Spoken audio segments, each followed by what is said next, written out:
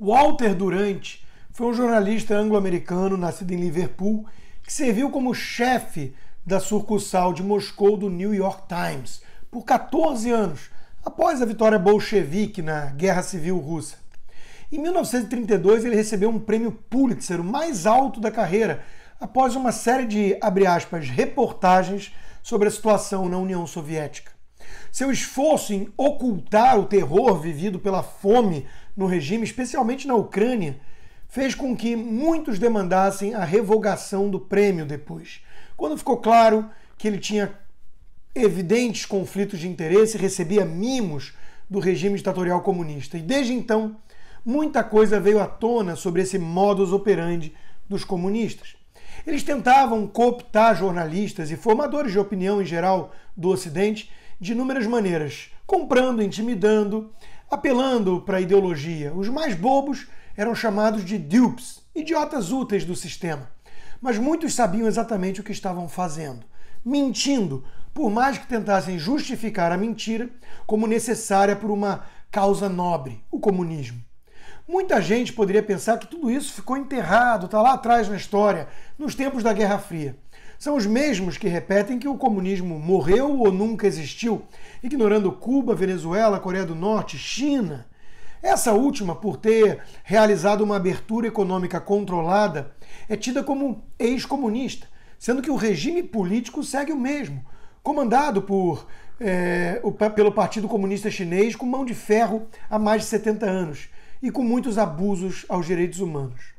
O embaixador chinês no Brasil adota uma postura agressiva, intimidatória, busca persuadir parlamentares contra a ideia de considerar a independência de Taiwan, por exemplo fazem chantagens com vacinas e ele deixou um rastro de agressividade, de uma conduta parecida pela sua passagem na Argentina. Mas a mídia ignora. Enquanto isso, partidos de esquerda como o PDT realizam seminários com esse embaixador para tirar lições sobre o modelo chinês. E tem senadora que fala até que está disposta a deitar no chão e deixar o embaixador pisar em cima dela se for necessário para a vacina. A vassalagem é escancarada e escandalosa.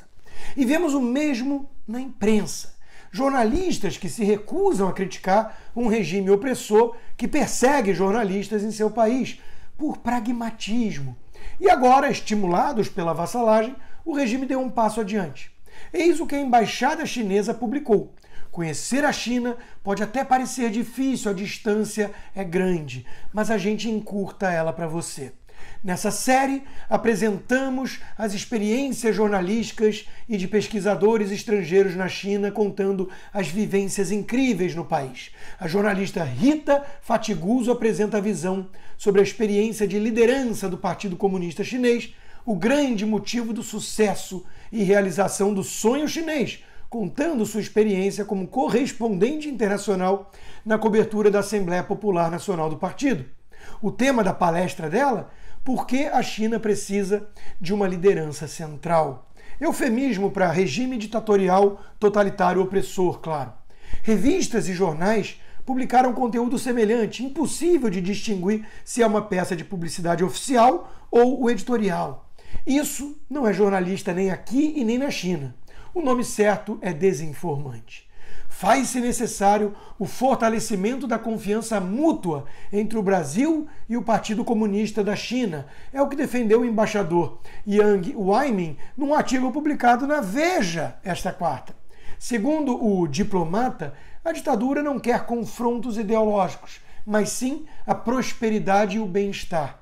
O Partido Comunista da China, sempre com o foco no povo, preserva a saúde e a dignidade de cada cidadão e conta com a aprovação e o firme apoio da população, informa um trecho do texto. É verdade esse bilhete. O PCC está sendo investigado pelos Estados Unidos. Há suspeitas de que o novo coronavírus tenha vazado do Instituto de Virologia de Wuhan.